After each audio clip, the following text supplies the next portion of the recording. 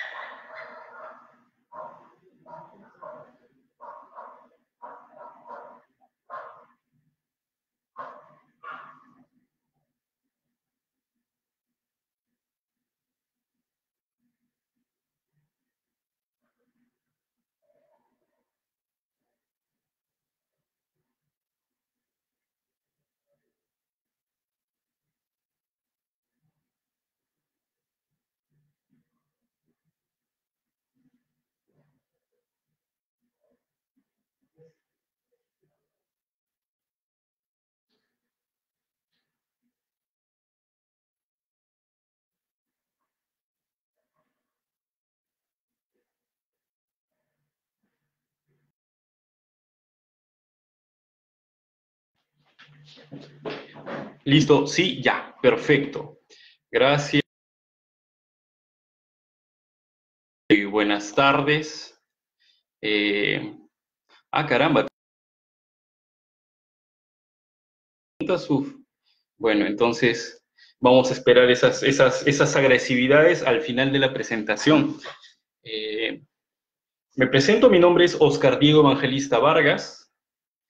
Eh, soy profesor de la Universidad Nacional Mayor de San Marcos y de la mm, Universidad Científica del Sur. En San Marcos enseño al Departamento de Zoología y en la Científica del Sur enseño lo que es la carrera de Biología Marina.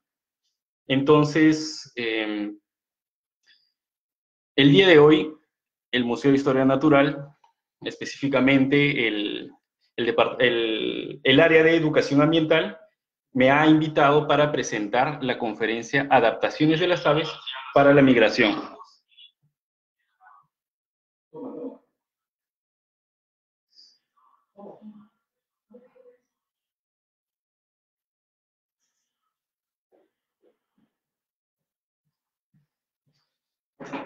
Listo. Entonces, eh, veo que ya son 61 personas conectadas. Vamos a comenzar con este tema. Eh, entonces, viernes 8 de mayo del año 2020, comenzamos 5, 5 pm por el Día Mundial de las Aves Migratorias. Entonces, este es el tema. Soy biólogo, eh, habiendo estudiado sistemática, taxonomía animal y biodiversidad en el área, específicamente en el área de aves. Entonces, estos son mis correos electrónicos.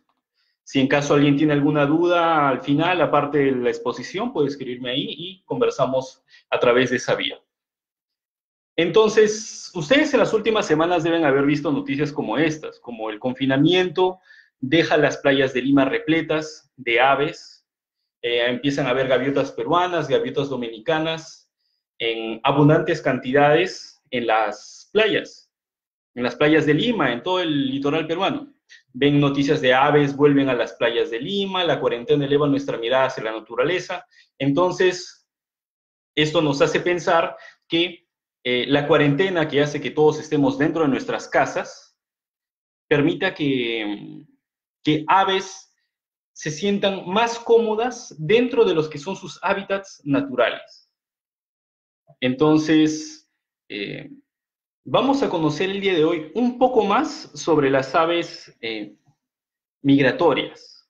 Todos deben haber escuchado sobre eso en algún momento. Entonces, vamos a comenzar con una frase que me dejó mi amigo Jaime Pacheco hace un momento antes de comenzar el seminario. Me escribió y me dijo, no es posible proteger o conservar la naturaleza sin antes amarla o valorarla. Y ello no es posible sin antes conocerla. Entonces, vamos a conocer un poquito más de las aves migratorias y vamos a aprender a conocerlas, amarlas y cuidarlas. Entonces, aquí viene la primera pregunta para todos. ¿Qué es migración? Tal vez lo han escuchado por ahí en algún momento. Eh, la migración es el desplazamiento de una población desde su lugar de origen que conlleva el cambio del hábitat de cualquier especie de animal. Entonces, pueden migrar diferentes grupos de animales, las aves, los mamíferos, peces, reptiles, etc. Ustedes ya deben conocer algunos ejemplos por ahí en mamíferos, en esos peces que migran para desovar. Entonces, ¿qué es lo que desencadena esto? Es eh, tal vez el clima local, el clima local en el que ellos nacen no es ideal para que ellos pasen el resto de su vida, tal vez es la disponibilidad de alimentos, la estación del año, tal vez no les conviene pasar en el lugar donde normalmente viven, no les conviene pasar el invierno, o para reproducirse en algún otro lugar que tenga las condiciones óptimas. Entonces pueden haber desplazamientos de tipo periódico, de tipo estacional o desplazamientos permanentes. Una vez que nacen y salen del lugar, no vuelven en ningún otro momento. Entonces, la migración describe movimientos periódicos a gran escala de poblaciones de animales. Entonces, vamos a categorizar los tipos de migración según las distancias recorridas. Entonces, aquí tengo cuatro ejemplos. Entonces, comenzamos con residentes permanentes. Aquí tenemos una avecita bien conocida por todos nosotros, si, si vivimos en Lima, por ejemplo, es el pácer doméstico. ¿Quién no ha visto esta avecita en su jardín? Ellos no migran, son residentes permanentes. Pueden encontrar suministros adecuados de alimento durante todo el año. Es decir, donde están, se alimentan, reproducen, la pasan tranquilos, no hay ningún problema. Hay otros que son migrantes de corta distancia, se mueven de altas elevaciones, elevaciones más bajas, por ejemplo, como en la ladera de una montaña, tenemos aquí el Vultur grifus, que pues sabemos que está en las montañas, pero algunas veces baja la costa. ¿La han visto que baja la costa para alimentarse? Entonces es una migración de corta distancia, va a buscar alimento. Luego también tenemos migrantes a media distancia. Ellos cubren distancias que van desde uno o varios departamentos o estados. Luego les voy a mostrar el área de distribución de esta especie en particular, Pelecanus tagus, es el pelícano más común para nosotros. Y por último tenemos los migrantes de larga distancia. Un ejemplo aquí el calidri salva. Estos son que se pueden desplazar continentes de uno a otro. Por ejemplo, las aves migratorias que nosotros más conocemos, por ejemplo, dentro de este grupo de, donde está Calidri Salva, pueden venir desde Estados Unidos o Canadá a pasar su verano aquí en Sudamérica. Entonces hay más de 350 especies que se dan ese viajecito todos los años. Hay diferentes órdenes de aves que son migrantes. Por ejemplo, tenemos faetontiformes, que son aves marinas que vuelan largas distancias. Eh, el orden procelariformes, también voy a hacer una mención ahí de los, de los, de los gaviotines, tenemos, los albatros, los petreles, digo, las golondrinas también, que son las dos de arriba, el orden suliformes, donde tenemos las, las aves fregata, eh, los piqueros, los cormoranes, y también los caradriformes, donde están la familia Caradride, Caradride, Pluvianide, varias avecitas que tal vez las hemos visto cuando hemos ido a visitar las playas. Entonces, vuelvo al pelícano peruano que les había mencionado hace rato, mis estimados, y tenemos aquí este mapa de la UCN Red List, que vemos el área de distribución de este Pelecanus taus. Esta es una especie no amenazada. Entonces, vemos que la parte es el reproducen y aquí hay otras áreas donde no se reproducen. Entonces, ellos migran una distancia media de zonas donde normalmente se reproducen a áreas donde solo viven, no, no anidan. Y aquí tenemos un ejemplo de largas migraciones, nuevamente con el calidri salva. Eh, esta es una especie bastante conocida por lo menos en algún momento de su vida lo han visto, se los puedo apostar. Ahora les voy a decir por qué, porque hay un personaje bien famoso que de hecho ustedes lo han visto en algún momento. Entonces, Calidri salva se reproduce en esta zona, bien al norte de América.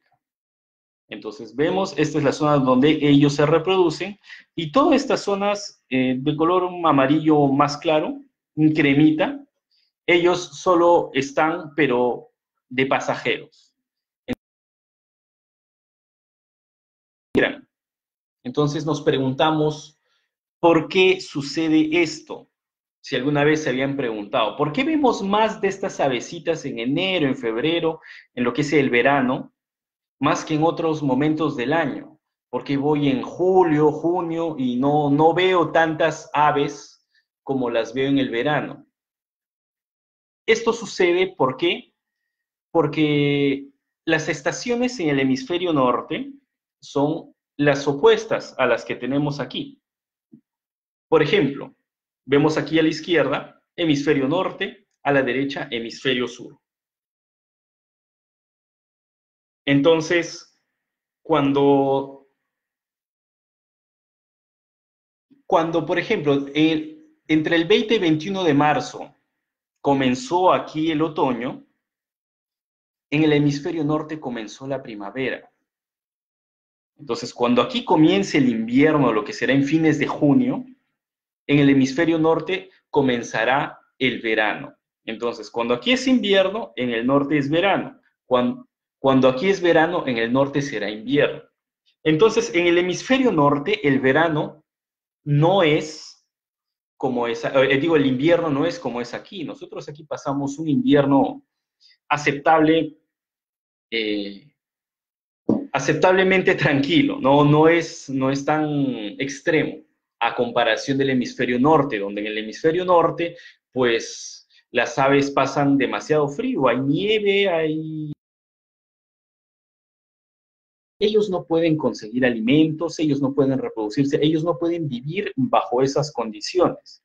Entonces, cuando va a llegar el invierno en el hemisferio norte, ellos deciden emprender un viaje desde allá hacia el sur. Entonces ellos, más o menos a, mediados del otoño, se empiezan a preparar y emprenden vuelo hacia el sur, para que cuando comience el invierno en el norte, ellos ya estén pasando un rico verano aquí en el sur, donde será pues verano. Entonces, por eso nosotros podemos empezar a ver estas aves más o menos entre, entre noviembre, diciembre, y ya más o menos en febrero, marzo, ya se empiezan a ir estas avecitas. Entonces, ellos tienen diversos plumajes. Ellos tienen un plumaje adulto reproductivo, en el caso de estos calidris, y tienen un plumaje no reproductivo. Entonces, ese es el plumaje con el que lo veríamos en etapa reproductiva en el hemisferio norte. Entonces, si alguno de ustedes tiene la, suerte de poder viajar a, Estados Unidos, Canadá, en la época en la que ellos se reproducen y poder ir a ver sus zonas eh, donde ellos viven, va a poder ver ese tipo de plumaje. Mientras que nosotros en el hemisferio sur, cuando vienen a visitarnos, los vemos con esta coloración, blanquecina. Entonces, aquí está. Justo esta imagen es un resumen de las diferencias entre el plumaje reproductivo y el plumaje, eh, el, plumaje de verano acá en el hemisferio sur. Entonces, acá está, acá está la etapa reproductiva y acá la etapa no reproductiva. Entonces, estas son avesitas bastante pequeñas, miden entre 17 y 20 centímetros, pesan de 40 a 100 gramos aproximadamente, y sus alas abiertas, la envergadura de sus alas, es de 35 centímetros aproximadamente. Ellos se alimentan de gusanos, de insectos, de crustáceos pequeños, de moluscos pequeños, que sean, que acorde a su tamaño. Entonces, aquí está el amiguito que yo les decía que en algún momento tengo seguridad que lo han visto. Entonces, se llama Piper, es una animación de Pixar que salió hace un par de años. Entonces, este es un calidrisalva. Entonces, es un pequeño calidrisalva que lo vemos pues que está aprendiendo a vivir. Es un corto de Pixar, no dura mucho, pueden buscarlo, está en YouTube. Entonces, él es un ejemplo de una besita migratoria, ¿no? Bastante joven, ahí está buscando pues alimentos, ¿no? Los invertebrados de quienes se va a alimentar. Entonces, ¿cómo viajan ellas? Ellas no viajan solas, ellas viajan en bandadas compactas y tienen un movimiento sincronizado. Entonces, ellos son capaces de volar varios días seguidos sin parar. Entonces, hay especies que ni siquiera paran en todo el viaje. Entonces, realizan hasta 32 mil kilómetros de viaje al año. Entonces su migración dura unos cinco meses aproximadamente, desde que parten hasta que llegan, pasan aquí un tiempo y regresan, se demoran sus cinco meses aproximadamente. Y muchas de ellas solo necesitan de cuatro a seis paradas en el recorrido. Entonces imagínense volar desde el norte de América hasta aquí Sudamérica. Pero ellos tienen formas de cómo resistir, por eso el tema es adaptaciones de las aves a la migración. Y vamos a comentar algunas de ellas. Entonces, esta imagen, noviembre, es hora de volar. Entonces, este es el, el se puede los meses, de, de los meses y de las estaciones en el hemisferio norte. Tenemos aquí el otoño. Entonces, y quincena de noviembre. Ahí empiezan a migrar. Entonces, acá dice fattening, disculpen, no sé la pronunciación exacta, pero este es el engorde. Este es el engorde del ave. Ahorita les voy a, les voy a explicar por qué. Las aves empiezan a aumentar de peso para migrar eh, durante esta temporada. Ya aquí en diciembre, enero, febrero la están pasando en Sudamérica, que es verano, y aquí nuevamente se empiezan a preparar para la migración. Acá está volviendo a engordar para regresar nuevamente al hemisferio norte y lleguen pues a su etapa reproductiva y en, que es entre junio y julio. Y para el año siguiente prepararse nuevamente y volver. Entonces, estas especies incluso pueden llegar hasta los 8.000 metros de altura al momento de migrar. Y pueden alcanzar, algunas especies alcanzan la velocidad incluso de 80 kilómetros por hora en el vuelo. Entonces aquí hay algunos ejemplos extremos, mis amigos. Por ejemplo, vamos a empezar con la superior izquierda. Este es el Anser indicus. Este es una especie de anatio, que es un Anser, que llega hasta altitudes que llegan los 7 kilómetros de altura. Ellos atraviesan todos los años la zona del Himalaya. Entonces, imagínense, ellos están adaptados en una óptima respiración, tienen otro tipo de hemoglobina que los ayuda a volar a esas alturas sin ningún problema. Luego en la parte superior derecha tenemos otra especie, limosa lapónica, que puede volar 7.000, no, 11.200 kilómetros en 8 días, sin parar. Entonces, imagínense. Luego tenemos esta besita que alcanza grandes velocidades, llega hasta los 96 kilómetros por hora. Y esta especie, la superior izquierda, el gaviotín ártico, que puede viajar 80.500 kilómetros en todo su recorrido migratorio. Entonces, son aves que tienen un gran viaje. Entonces, hay diversas rutas migratorias entonces, aquí vemos las tres principales rutas migratorias. Está la, de las Américas, la ruta África-Eurasia y la ruta Asia-Australasia. Pero hay varias. Por ejemplo, nosotros tenemos la ruta verde. La que, es, la, que comúnmente vemos que es la, el Pacífico de las Américas. Hay una ruta que también puede abarcar Brasil, que es eh, la ruta América Atlántica y diversas rutas más. Entonces, aquí viene una adaptación muy importante que ellos, que ellos tienen. Hace un momento les mencioné que en septiembre ellos comienzan a engordar preparándose para la migración. Entonces, imagínense que ustedes van a correr miles de kilómetros. Entonces, no va a parar a alimentarse. Entonces, necesitan llenarse de reservas. En, esto, en este caso, nuestros amiguitos no llenan su mochila de comida, sino que se empiezan a alimentar de los invertebrados. Ellos a lo largo del año se alimentan pues lo necesario, lo normal, lo que necesitan para sobrevivir. Pero cuando llega el mes de septiembre y ellos están en el hemisferio norte, ellos empiezan a alimentarse y alimentarse y alimentarse en exceso. Este es para aumentar los acúmulos de grasa, es decir, para que ellos puedan tener un vuelo directo sin tener muchas escalas, ellos engordan, engordan, engordan, engordan. Es por eso cuando, que cuando ellos llegan a Sudamérica, llegan flacos, llegan bastante bajos de peso, casi sin grasa, y llegan directo a alimentarse, a recuperar su peso. Pasan la, la temporada aquí en Sudamérica, la pasan todo tranquilos, se alimentan lo normal y cuando ya llega la hora que ellos regresen nuevamente al hemisferio norte, vuelven a alimentarse, alimentarse, alimentarse hasta almacenar grandes cantidades de grasa. Entonces, por ejemplo, aquí tenemos una señal, bueno, una figura de cómo identificar los patrones de, de presencia de grasa en los cuerpos de las aves. Estas son algunas imágenes de, aves que tienen grasa en el cuerpo. Por ejemplo, aquí tenemos una avecita pues que no tiene casi nada de grasa, ¿no? La mayoría la parte roja es músculo. Esta la vemos con buena cantidad de grasa. Miren, acá un poquito de músculo y todo esto es grasa. Aquí también, casi todo ya es grasa. Aquí al medio nomás falta que se cura de grasa. Entonces imaginemos que este es el punto 6 tal vez en acúmulo de grasa. Entonces, aquí hay un punto importante. Animales muy sensibles.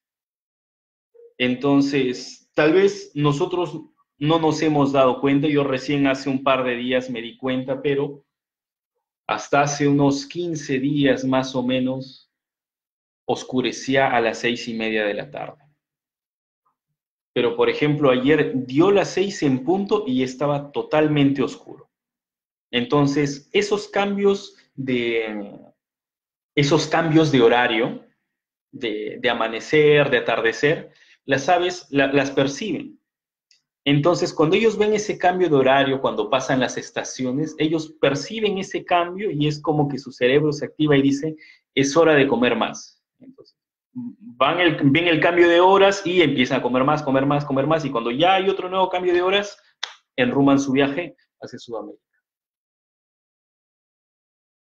Entonces, ¿las aves migratorias ahorran energía en su vuelo? Sí, por ejemplo, aquí tenemos dos imágenes graciosas. En una tenemos un ave que dice, volemos en línea recta, llegamos, son 9.600 kilómetros, y el otro dice, no, vamos en zigzag, son 12.000 kilómetros. Entonces, alguien tal vez por ahí piense, ¿no? Qué descabellado volar 12.000 kilómetros. ¿Por qué prefieres volar 12.000 kilómetros que 9.600? Es una locura. Pero no, para las aves muchas veces es mejor volar esos kilómetros de más porque ellos aprovechan los vientos. Entonces, aquí a la derecha tenemos una imagen donde tenemos un ave que vuela 100 kilómetros en línea recta, va a aletear, se va a cansar, se va a demorar más. Pero si un ave decide volar por aprovechando los vientos por una ruta que les va, que, es de 125 kilómetros, va a llegar más rápido, va a llegar menos cansado, son menos probabilidades de morir, entonces aprovecha el viento, vuela una mayor distancia, pero la pasa tranquilo. Entonces, ellos ahorran energía planeando con ayuda de los vientos alisios y corrientes de aire ascendentes. Entonces, ellos planean en el vuelo, usan las corrientes de aire para ahorrar energía. Por ejemplo, aves de gran envergadura, por ejemplo, los, los petreles, eh, los albatros, Aquí tenemos un, pelícano que, eh, bueno, pues aprovechan que tienen las, las, alas largas, una gran envergadura, y ellos tienen las, las plumas de las alas que los ayudan a planear fácilmente. Ellos simplemente giran esta zona, estos extremos de la, de la punta de las alas y lo dirigen como si fuese un timón nada más. No tienen que aletear, simplemente es aprovechar las corrientes y mover esta zona de las alas abrir estas plumas para dirigir un poco la ruta que van a seguir y listo. Entonces, aquí está. Los vientos alisios y las corrientes de aire ascendentes. Entonces, tal vez han escuchado por ahí de los vientos alisios que el calentamiento del Sol es diferente sobre las distintas zonas de la Tierra. Entonces, las masas de aire van a tener diferentes temperaturas. Entonces, los vientos alisios trabajan entre los 0 y los 30 grados de, latitud.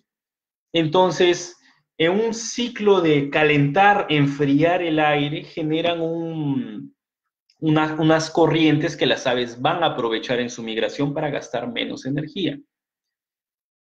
Y también existen las corrientes de aire ascendentes. Viene la energía del Sol, vienen los rayos solares, calientan la superficie de la Tierra y la Tierra calienta el aire.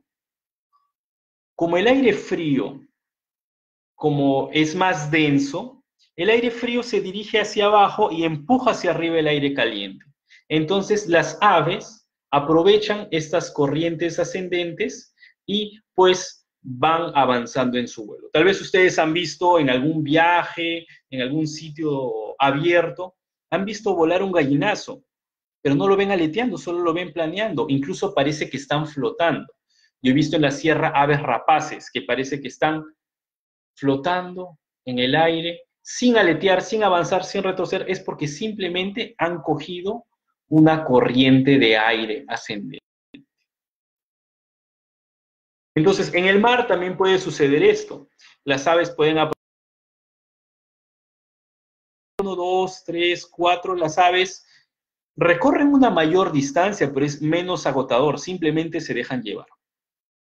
Entonces, ahí está, las aves marinas de, alas, alas largas, eh, como los albatros, aprovechan su diseño y toman ventaja para, ventaja para coger corrientes de aire horizontales. Como se dejan llevar por el aire, pues van haciendo estas ondas. Entonces aquí vamos a otro punto importante. ¿Qué tan precisas son las aves? Siempre que se hagan esa pregunta, acuérdense de esta pardela de cabeza negra, Ardena gravis. Esta es una especie que anida en las islas Tristán da Cunha, que se encuentra a unos, dos, en el, a unos 200 kilómetros, 2.000 kilómetros de África, en medio del Océano Atlántico. Es el punto azul aquí en el mapa. Pero ellos solo se reproducen ahí, es un conjunto de islas que tienen una extensión más o menos de 45 kilómetros, pero ellos se reproducen solo ahí y una vez que salen de reproducirse, ellos van hacia el norte del Atlántico y solo vuelven a reproducirse. Y vuelven siempre, todos los años, con exactitud al mismo lugar en el que anidaron el año anterior. Entonces, son muy precisas estas aves. Entonces, ¿cómo las aves saben hacia dónde volar? ¿Cómo saben hacia dónde volver todos los años?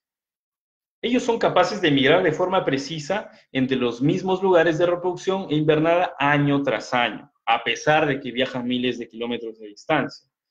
A pesar de que tenemos aves jóvenes que migran solas, ellas pueden encontrar su propio camino a sus áreas habituales de invernada para su especie. Siempre regresan a sus áreas natales. Entonces, a pesar de ser jóvenes, ¿cómo ellas se orientan? Si nunca nadie les enseñó, nunca siguieron a nadie, ¿cómo ellos saben? Entonces, ¿cómo ellos regresan sin falla a su particular zona de anidamiento?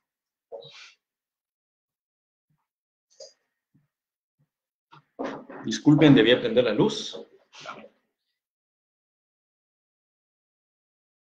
Magneto-recepción que usan para orientarse en la migración de largas distancias. Entonces, ustedes deben haber oído que la Tierra emite ondas magnéticas. Entonces, las aves tienen un tipo de magneto-recepción que los permite orientarse hacia dónde volar. Entonces, se podría decir que las aves tienen una brújula magnética. Entonces, esto se basa en tener fotoreceptores, es decir, receptores de luz. Entonces, el campo geomagnético de la Tierra modula la información visual. A ver, este es un ejemplo, este es como lo veríamos nosotros y supuestamente esto es como lo vería un ave, volar en esta dirección. Explicándolo de una bonita forma, es decir, que modula la información visual, quiere decir que, por ejemplo, si vas a volar hacia la izquierda, no hay ningún tipo de señal. Pero si va a volar el ave hacia la derecha y ese es el camino, va a haber algún tipo de señal visual que le diga, sigue por aquí, sigue por aquí, sigue por aquí. Por eso las aves no se pierden y llegan a sus rutas, siguen sus rutas migratorias. Entonces, estos cambios en estos patrones de modulación visual eh, permite que las aves se orienten de una mejor forma siguiendo su brújula magnética y esto ha sido observado en experimentos comportamentales. Entonces, hay un gran problema. El ruido electromagnético afecta la orientación de las aves migratorias. Entonces, tal vez si hay torres de alta tensión que emiten una onda que interfiere con las aves, puede que las desoriente. Entonces, eh, son cosas que pueden hacerle daño a las aves. Entonces, aquí les voy a mostrar un ejemplo eh, del proyecto Golondrina de la Tempestad de Collar aquí en Perú.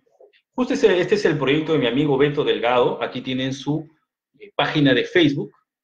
Pueden visitarlo. En algún momento deben haber visto alguna de estas aves, deben haberlo visto por redes sociales o tal vez han encontrado alguna por ahí pensando que es una paloma. Entonces, si alguna vez encuentran una de estas aves, contáctense con el proyecto y vean qué pueden hacer por esta. Pero bueno, esta golondrina de la tempestad de collar aparentemente anida en los Andes o próximo a los Andes. Aún no se sabe eso, pero anida en el interior del país. Entonces, ellos, las crías, luego de nacer, deben volar hacia el mar. Entonces, ellos parece que se orientan de la luz de la luna. Pero cuando ellos están llegando a las ciudades, muchas veces se pierden. ¿Por qué? Porque hay eh, reflectores, hay luces de estadio, hay luces muy intensas que los desorientan. Entonces, así como se afectan a las, señales eh, magnéticas de la Tierra, también pueden desorientarse por, eh, por factores de luz. Entonces, ese es un gran problema que ocurre con estas avecitas cuando vuelan sobre las ciudades. Entonces, es común ver este tipo de anuncios Entonces, este proyecto se encarga de eh, recuperar estas avecitas y devolverlas a su hábitat natural. Visiten su página, vean cómo hacen ellos su trabajo, es fantástico, los he ido a visitar una vez y de verdad felicito mucho el trabajo del equipo de Beto Delgado y todos sus colaboradores. Entonces, otra cosa que podemos ver en aves que vuelan largas distancias es la extensión de las plumas primarias.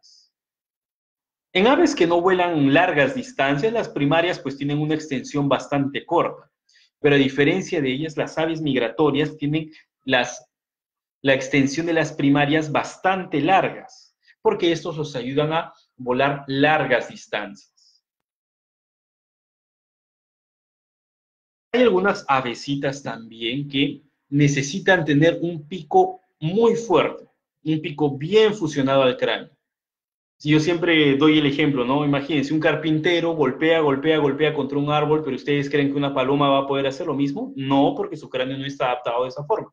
Entonces, hay especies que, eh, por ejemplo, como los, los zulide, los piqueros, que como dice su nombre piqueros, acá vemos a la derecha, se lanzan en picada a sacar sus alimentos, entonces deben tener un cráneo bien fusionado con el pico bien duro que no les haga ningún tipo de daño. Pero algunas de estas aves que vuelan largas distancias, como tienen que parar a descansar, algunos descansan en el mar, necesitan membranas interdigitales entre las patas. Si tuviesen dedos sin membranas interdigitales, creo que se hundirían fácilmente. Y también algunas de estas aves que vuelan largas distancias y que pasan todo el tiempo de su vida en el mar, se alimentan necesariamente del mar. Entonces, este tipo de aves, a diferencia de otras aves, tienen una glándula de sal en la cabeza, externo al cráneo. Entonces, estas glándulas de sal, al no, tener unos riñones eh, que les permitan eliminar los excesos de sal, o sea, no tienen unos riñones tan grandes como debería ser para eliminar los excesos de sal, ellos tienen este par de glándulas que permiten eliminar eficientemente todo el exceso. Por eso tienen estos canalcitos en el pico, que son la ventana nasal con secreciones. Acá las elimino, por esos canalcitos. Canalitos. También debemos haber visto patrones de vuelo. Tal vez alguno de ustedes se preguntó, ¿por qué las aves vuelan en forma de V? Tienen esa formación de V. Todo tiene un propósito en, en la naturaleza. Nada es por azar.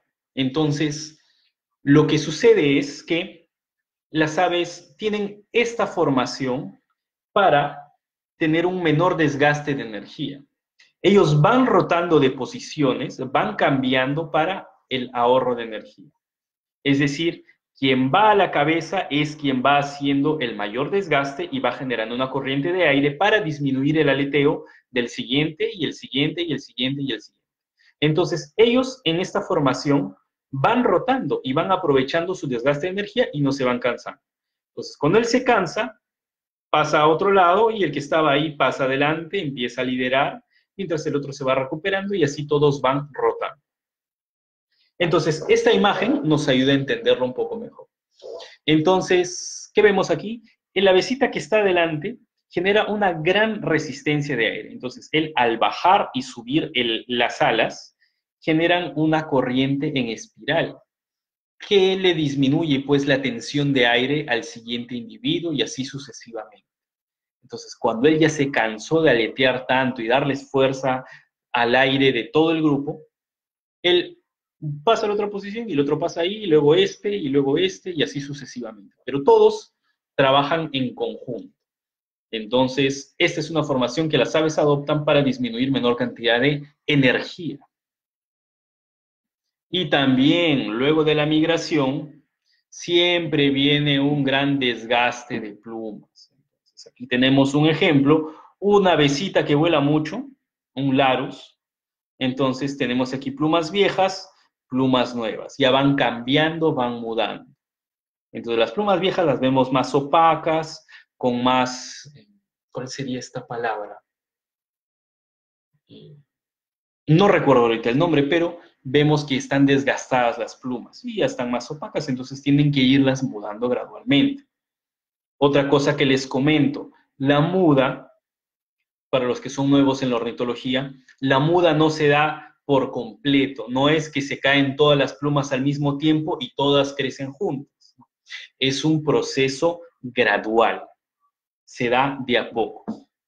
Entonces, las, especialmente en las alas, porque un ave, por ejemplo, esta avecita cuando empiece a mudar, va a empezar a mudar de aquí de las primarias hacia afuera y de las secundarias hacia adentro. Todo gradualmente, pluma por pluma. Entonces, cuando ya lleguemos a la última pluma del ala, ya habrán crecido estas otras. Entonces, las aves nunca se quedan sin volar todo se hace gradualmente. Se cae una, va creciendo, cae la otra y la otra ya está más grande. Entonces, es un proceso que se da a los pocos. Entonces, ¿qué es el anillamiento de las aves? Ustedes deben haber visto algunas fotos, por ejemplo, la anterior vimos esta ave, este larus, tiene aquí anillos en las patas. Entonces, el anillamiento es una técnica de marcaje para el estudio de las aves silvestres que consiste en la colocación de un anillo metálico de aluminio en la pata de un ave viva. Entonces, por ejemplo, aquí tenemos diversos tamaños, porque tiene que ser un tamaño el que no presione las patas del ave, no les haga ningún tipo de daño. Tiene que bailar pues en su patita, no tiene que ajustar. Entonces, este tipo de anillamiento nos sirve para rastrear a estas aves. Entonces, justo aquí dice, ¿no? Calidris pusila, la banderilla amarilla significa que el individuo ha sido marcado en Perú. Esto lo dijo Corbin. Entonces, esta es una institución que se encarga de hacer sus grupos de anillamiento para estas aves playeras. Entonces, esto tiene un código. Entonces, ¿qué es lo importante de esto? Tal vez un ave en Canadá, en Estados Unidos, estaba antes de su periodo de, reproducción y fueron y le pusieron una banda. Entonces viene acá a Sudamérica y se ve, se toma una foto del ave, así se le ve el código, se ve la banda, se sabe dónde lo registraron y se puede eh, ayudar a traquear la ruta migratoria de estas aves. Entonces, de esta forma es que los investigadores a lo largo de los años han ido compilando información y han ido describiendo las rutas migratorias de las aves. Entonces, ya en otros lugares, para aves más grandes, han colocado eh, rastreadores. Por ejemplo, este es un rastreador que han colocado en estas aves rapaces, y han visto toda su ruta migratoria desde Sudán hasta Kazajistán. Entonces, estas son las rutas migratorias que han hecho estas aves. El problema con estos rastreadores es, no es como en las películas de que pones un rastreador y te lo manda una laptop donde tú bajas toda la información en tiempo real. O dice, a ver, vamos a ver dónde está el ave. Y ven a su computadora y dicen, ah, mira, caramba, está en Colombia, ya está de regreso al norte. No, no sucede así. El problema con las aves y con este tipo de, con los rastreadores, es que nosotros se tendría que recapturar a las aves. Entonces, acumulan información, pero para que nosotros volvamos a tener la información de la ruta migratoria, deberíamos tener la suerte de recapturar el ave para quitarle la mochilita y ver qué rutas ha. Entonces, la tecnología va mejorando y espero que en algunos años tengamos transmisores súper pequeños que no sean una carga para estas avesitas migratorias. y que puedan enviar una señal a tiempo real a nuestros computadores y podamos rastrear dónde están, cuánto se demoran, dónde paran exactamente de un individuo. Entonces, aquí hay una página donde ustedes pueden entrar a ver lo del traqueo del vuelo de esta águila. Un trabajo interesante.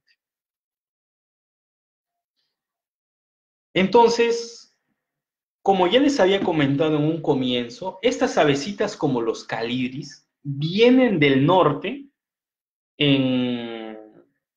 entre no, salen del norte más o menos, en septiembre empiezan a alimentarse intempestivamente y en noviembre salen y ya están llegando en ese mismo mes y se quedan hasta marzo.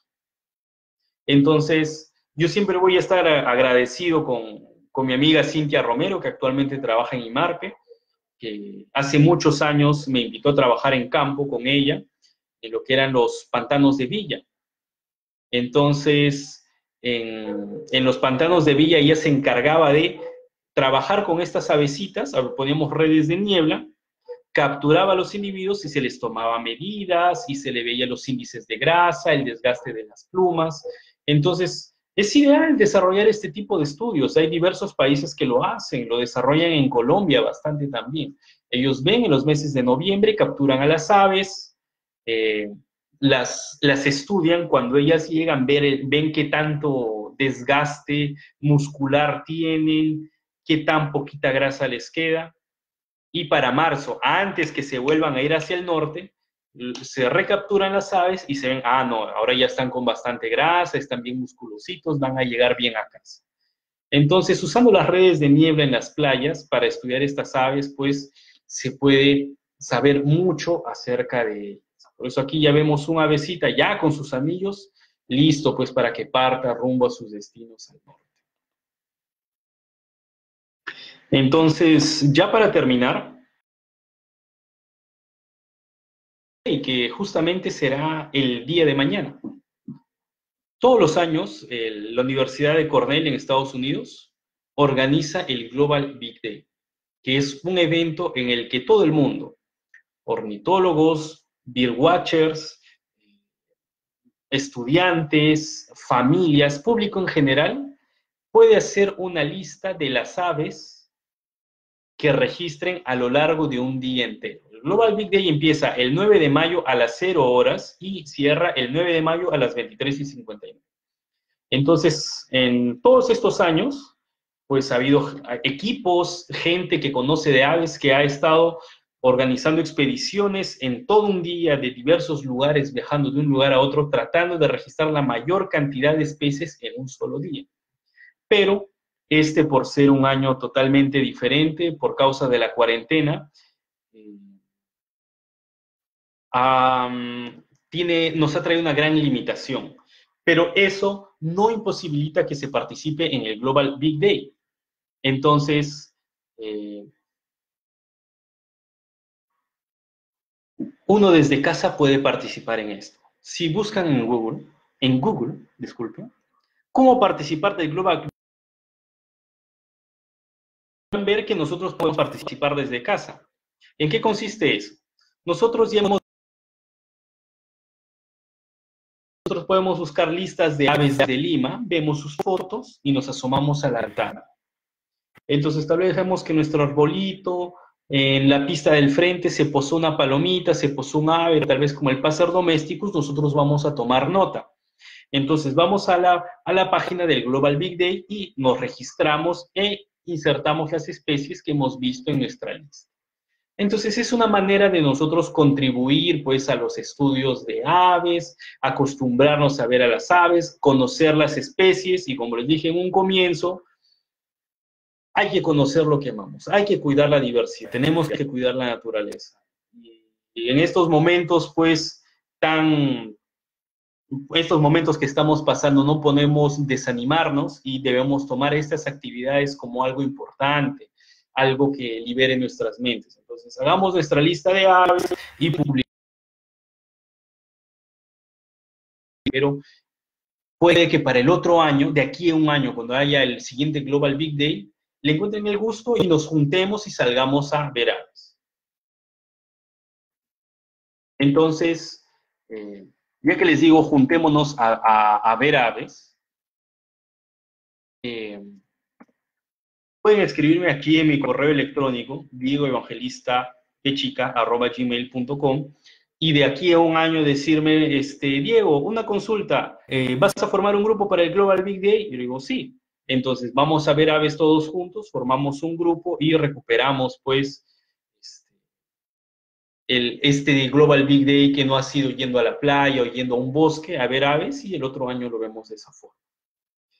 Entonces, agradezco la asistencia de todos ustedes. Veo 115 personas en línea. De verdad, agradezco la participación de todos ustedes, darse el tiempo en haber venido. Sé que muchos de mis amigos están aquí. Les agradezco tomarse el tiempo en venir.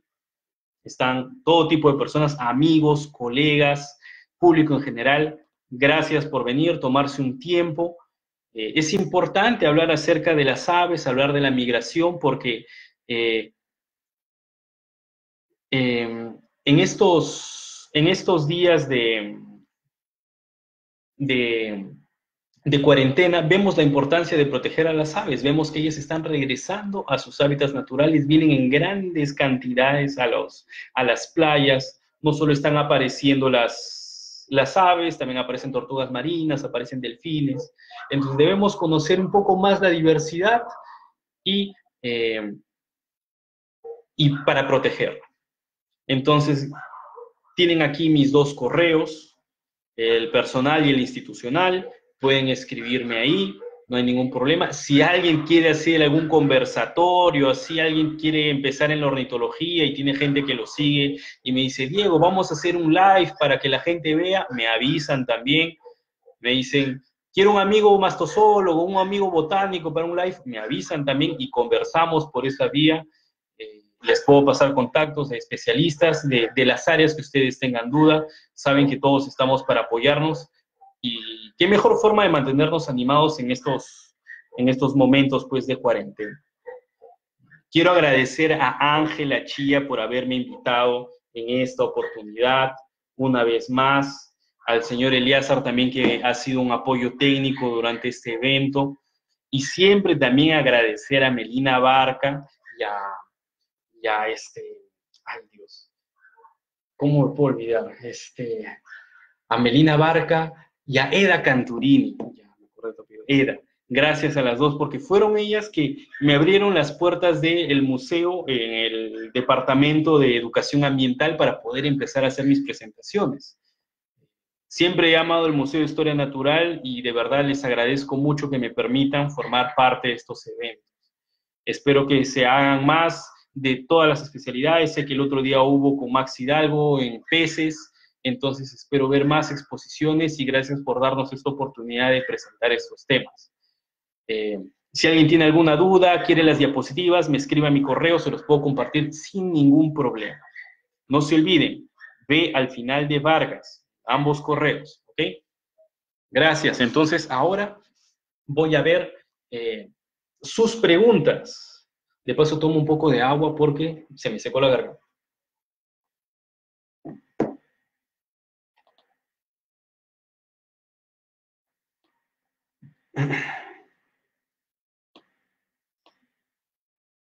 Ya. A ver, veo por ahí alguien que me dice si le puedo compartir la presentación. Sí, me escribes a mi correo, por favor, porque yo de verdad no uso Facebook, no sé cómo se usa Facebook, entonces me escribes mi correo y ahí nos, nos, comunicamos.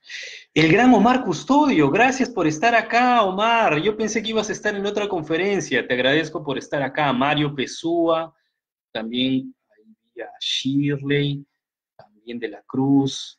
A ver, voy a bajar, voy viendo las preguntas, pregunta por pregunta. A ver, eh, eh, el señor Servit Willis, me escribes un correo y yo te comparto, porque al final tu mensaje se pierde y ahorita no tengo dónde tomar nota. Eh, buena pregunta, Anthony Morales. Veo que aquel amigo Anthony pregunta si estos aparatos de monitoreo de la ruta migratoria que se les coloca a las aves afectan su sentido de percepción de estos campos magnéticos. Aparentemente no. Se ha visto en, esta, en este águila que viaja desde Sudán hasta Kazajistán, se ha visto que siempre han seguido la ruta. Es una sola ave que ha ido y ha vuelto varias veces.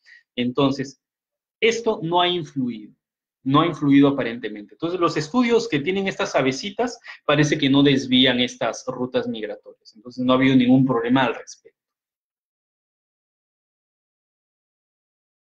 Bruno AP, no sabía que era usted, gracias. Eda Canturini, gracias, ahí justo te veo, Eda, Mario. Disculpa, me olvidé tu apellido, pero siempre te tengo presente, Eda, tú lo sabes. Melina, también estás ahí, qué coincidencia. Shirley de la Cruz, mm, Martín, Celia, gracias. El siguiente año nos juntamos para el Global Big Day. Pásense la voz, tal vez formamos el grupo de 100 personas acá. Gracias, Juan Chao. Juan Chao. Muy bien. Este, sí, Alicia, Alicia, va a quedar grabado, no te preocupes, Alicia Seña, queda grabado para que vuelvan a verlo. Gracias, Brian Espinosa, amigo mío. Gracias, Marta Aguilar, Samantha, sí, Marta Aguilar tiene razón. Este, estamos para proteger a las aves, es muy importante eso. Gracias, Adriana Romero, gracias. Gracias, Pedro Espinosa, compañero de grandes aventuras. Suset Milla, Juan Luis Durán, Aymar Bonifacio, gracias por acompañarnos el día de hoy. Siempre, siempre estamos aquí para resolver cualquier tipo de duda. Eh, el Museo de Historia Natural y San Marcos en general siempre tienen que ser nuestros, nuestros hogares, ¿no? Es un centro donde yo sé que tienen el duda, duda de cualquier grupo biológico, ustedes pueden dirigirse a estos lugares y cualquier especialista va a sus dudas. A mí pueden encontrarme en la ciudad universitaria, Facultad de Ciencias Biológicas, Laboratorio de Ecología, segundo piso, cuando se reactive todo, me van a encontrar siempre ahí, así es que si quieren alguna conversación, también si hay algún estudiante ahí de la Facultad de Ciencias Biológicas algún estudiante de Biología Marina, también podemos, de, de la Científica del Sur, también podemos apoyarlos en sus proyectos, sus tesis, hay muchas cosas por hacer. Espero que por aquí estén Bruno y Joaquín, que son mis asesorados. Así es que hay asesorados y hay que apoyarlos, sí. Espero que estén por aquí escuchando la ponencia. Sí, Angie, quedará grabado. Eh, eh, Juan, Juan Chao me pregunta, ¿la ruta migratoria es generada por... Em, eh, Juan, lo que sucede es que la ruta, en, ellos migran de un lugar a otro buscando alimentos y condiciones ideales. Entonces, la ruta migratoria muchas veces es generada por la afinidad que ellos tienen por un área. Por ejemplo, hay avecitas que, no vuelan sobre el mar. Por ejemplo, hay avecitas eh, playeras que no vuelan sobre el mar, siempre tienen que estar volando sobre tierra, porque si ellos quieren hacer algún tipo de parada, ellos no están adaptados para vivir directamente del mar. Entonces, ellos, por ejemplo, hay una zona acá en Centroamérica que es un bien angostita, bien angostita, por donde justo en la época migración todos los birdwatchers y turistas y ornitólogos van y se paran en esa zona y van a ver pasar miles de aves migratorias porque no vuelan sobre el mar. Entonces, hay especies en particular que tienen una ruta migratoria específica que es pegado al mar, pero no sobre el mar, siempre pegado a las costas. Entonces, es generada por el, porque ellos siempre viven asociados a eso, no, no directamente en el mar. Kelly muy interesante, gracias.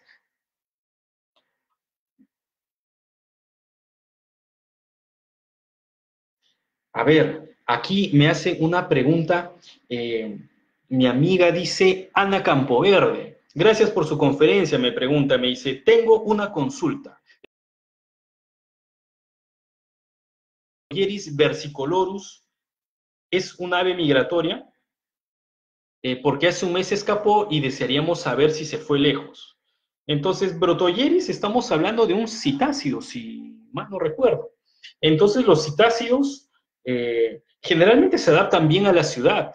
Eh, ellos no necesitan viajar a otros lados. Acá en la ciudad ellos encuentran buena disponibilidad de alimento, por eso vemos especies que son de la selva. Por ejemplo, hay unas, unas aratingas, aratinga wagleri, que debería ser de la selva, y que hay una pequeña población de individuos que se escaparon de cautiverio, que se adaptaron bien a Lima y que vuelan por todo el centro de Lima, por el Museo de Historia Natural, por la Avenida Arequipa. Entonces, son aves que son de otras áreas, pero que se han adaptado bien a la ciudad, entonces no necesitan volar a, a otros lados. Entonces, lo que debe estar aquí dentro de Lima. No creo que haya volado tan lejos. Sí. Gracias, Sandra Altamirano. Oh, Miguel Ángel García Mendoza, mi compañero de aventuras también. Gracias, Miguel, gracias. Qué bueno verte aquí. Tal vez hay alguna pregunta más, algunos saludos. Eh, sí, justo estoy viendo el área de distribución de Brotoyeris versicolorus. Es un ave de la selva, es un citácido pero se puede adaptar bien acá en Lima, no, no creo que haya volado mucho a algún otro lado. Entonces, ya vamos en una hora de transmisión. Ah, eh, mi amigo Willy me está pidiendo saludos. Sí, este, tenemos un equipo de fútbol de la Facultad de Ciencias Biológicas, le mando saludos a todos ellos. Están pidiendo saludos y ahí les mando sus saludos. No voy a decir el nombre del grupo porque eh, no es el lugar apropiado, pero gracias a todos por venir el día de hoy. Gracias a todas las personas que me apoyan, que siempre respaldan este tipo de conferencias. De verdad, hacer algo para el museo para mí es mi sueño. Así es que gracias, gracias por eso. Ah, ah tengo más preguntas. A ver, gracias José Eduardo, el gran Pepe. Saludos desde Sao Paulo y muchos éxitos para ti también. Juan Chao dice, un ave puede variar de altura rápidamente. ¿Cuánto puede variar en sus presiones de oxígeno? ¿Qué rangos? Esto depende de las especies, ¿no? Hay especies que se elevan eh, rápidamente a, altitudes que les, son, que les son permitidas, pero por ejemplo hay otras que van haciendo cambios de altura gradualmente. Por ejemplo, especies que aceptan grandes presiones, variaciones en la temperatura, en, la, en lo que es el oxígeno, es este anátido que vimos que volaba por el Himalaya. Ellos están adaptados para eso, desde la hemoglobina que están adaptados. Pero hay otras especies de que no, no, no, no llegan a tanto. Por ejemplo, los piqueros, claro, cambian de altura, pero no es tanta altura, ¿no? Se lanzan en picada, pero son 30 metros de altura. Eso no influencia mucho, pero hay ciertas adaptaciones que tienen estas avecitas que van desde la hemoglobina y el tipo de la respiración para lo que es hacer estos, estos cambios de, altitud.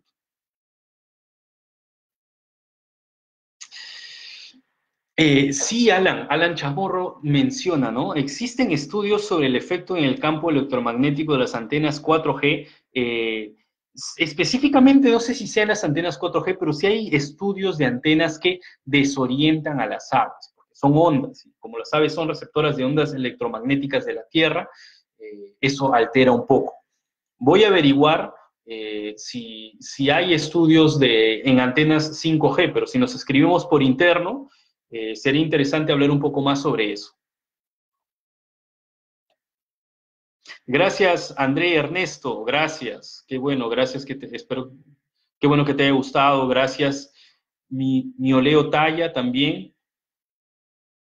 Gracias. Eka, gracias Eka, gracias por, por, la participación y gracias a todos los presentes. Entonces me imagino que ya puedo ir encerrando la conferencia. Espero que les haya ido bien. Gracias a, todos, a todos mis amigos que han venido el día de hoy. Eh, y veo que también me ha escrito Cristina, Ángela, Mario, eh, todos que me escriben por interno, Nancy, Vania, eh, Brian Espinosa, Connie, todo el mundo me escribe por interno, les agradezco mucho por eso y me despido. Sí, gracias, gracias a todos. Entonces, encierro el video y nos encontramos en una próxima oportunidad. Ya saben, pueden escribirme a mi, a mi correo cuando gusten y nos estamos viendo en una próxima conferencia. Gracias por todo, amigos.